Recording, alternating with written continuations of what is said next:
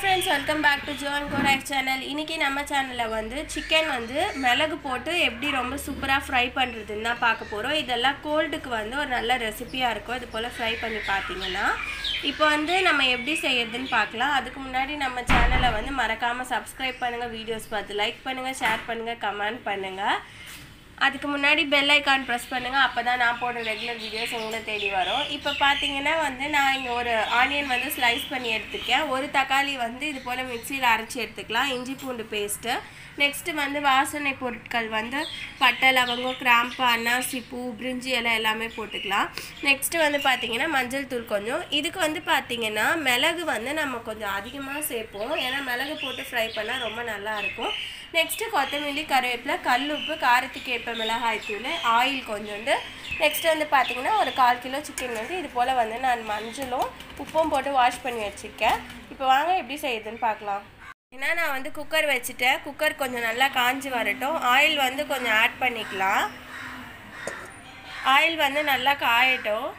இது பார்த்தீங்கன்னா ஆயில் வந்து நல்லா காஞ்சிடுச்சு. நான் வந்து கட் பண்ணி வச்சுருக்கேன். ஒரு ஆனியன் வந்து ஸ்லைஸ் பண்ணி வச்சுருக்கோம்ல அது வந்து ஆயில் ஆட் பண்ணிக்கலாம். இது வந்து நல்லா ஃப்ரை ஆகட்டும். நெக்ஸ்ட்டு கொத்தமல்லி கருவேப்பில இருந்து ஆட் பண்ணிக்கோங்க. இதை வந்து நல்லா ஃப்ரை பண்ணிவிடுங்க ஆகிறதுக்கு வந்து கல்லுப்பு வந்து கொஞ்சமாக போட்டுக்கலாம். ஆனியன் வந்து சீக்கிரமாக அப்போ தான் ஃப்ரை ஆகும். இது வந்து நல்லா ஃப்ரை பண்ணி விடுங்க அது போல்.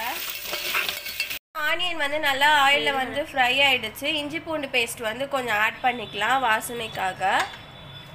அதை வந்து நல்லா மிக்ஸ் பண்ணி விடுங்க இது போல். இஞ்சி பூண்டு பேஸ்ட் போட்ட பிறகு நல்லா ஃப்ரை ஆகிடுச்சு நான் வந்து சிக்கன் ஆட் பண்ணிக்கிறேன். நான் வந்து கால் கிலோ எடுத்திருக்கேன். இது நல்லா வந்து தண்ணியிலேருந்து புழிஞ்சு ஆட் பண்ணிக்கோங்க. மஞ்சள் தூள் வந்து மஞ்சள் தூள் கொஞ்சம் ஆட் பண்ணிக்கலாம். நான் வந்து சொன்ன மாதிரி சிக்கன் வந்து கடையிலேருந்து வாங்கிட்டு வந்த உடனே வந்து மஞ்சள் தூளும் உப்பும் போட்டு வாஷ் பண்ணிவிடுங்க எந்த ஒரு நான்வெஜ் ஐட்டமாக இருந்தாலுமே வாஷ் பண்ணிவிடுங்க இது வந்து நம்ம நல்லா மிக்ஸ் பண்ணி விட்டுடலாம் போல். இது வந்து மிக்ஸ் ஆகி வரப்போ நம்ம வந்து அரைச்சி வச்சுருக்கோம்ல தக்காளி அதை வந்து போட்டுக்கலாம். போட்டு வந்து அதையும் நல்லா அதோட மிக்ஸ் பண்ணி விடுங்க. காரத்துக்காக வந்து நான் மிளகாய் தூள் வந்து ஆட் பண்ணுறேன் ஒரு ஸ்பூன் போட்டுக்கிட்டால் உங்களுக்கு எவ்வளோ தேவையோ வந்து அதுக்கேற்ற மாதிரி போட்டுக்கோங்க. இது வந்து இது போல் நல்லா வந்து மிக்ஸ் பண்ணி விடுங்க இதோட. இப்போ வந்து சிக்கன் வந்து கொஞ்சம் நல்லா வந்து வெந்துடுச்சு. பெப்பர் வந்து கொஞ்சம் அதிகமாக போட்டுக்கணும். ஏன்னா இது ஃப்ரைன்னு சொல்கிறதுனால பெப்பர் வந்து அதிகமாக ஆட் பண்ணாதான் இது கோல்டுக்கெல்லாம் வந்து ரொம்பவே டக்குன்னு கேட்கும் நம்ம சாதத்தில் பிசைஞ்சு சாப்பிட்டோன்னா ரசம் சாதத்துக்கும் தொட்டு சாப்பிட்றதுக்கும் ரொம்ப சூப்பராக இருக்கும். பெப்பர் போட்டு பண்ணுறப்ப ரொம்பவே உடம்புக்கும் நல்லது. இதை வந்து போட்டு நல்லா மிக்ஸ் பண்ணி விட்டுருங்க.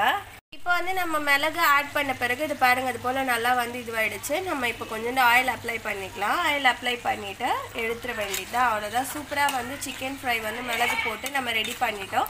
நீங்களும் வந்து இதை கண்டிப்பாக ட்ரை பண்ணி பாருங்கள் சூப்பராக வந்து இது வந்து ரெடி ஆகிடுச்சு நீங்களும் கண்டிப்பாக ட்ரை பண்ணி பார்த்துட்டு ரெசிபியோட டேஸ்ட் எப்படி இருக்குன்னு கீழே மறக்காமல் கமெண்ட் பண்ணுங்கள் இது மிளகு போட்டதுனால ரொம்பவே சூப்பராக இருக்கும். அதுக்கு முன்னாடி நம்ம சேனலை மறக்காமல் சப்ஸ்கிரைப் பண்ணுங்கள் வீடியோஸ் பார்த்து லைக் பண்ணுங்கள் ஷேர் பண்ணுங்கள் கமெண்ட் பண்ணுங்கள் பெல் ஐக்கான் தட்டி ஆல் ப்ரெஸ் பண்ணுங்கள் அப்போ தான் நான் போடுற ரெகுலர் வீடியோஸ் உங்களை தேடி வரும். மீண்டும் ஒரு அடுத்த சூப்பரான ரெசிபியில் உங்களை வந்து நான் சந்திக்கிறேன் அது வரைக்கும் டாட்டா பாய்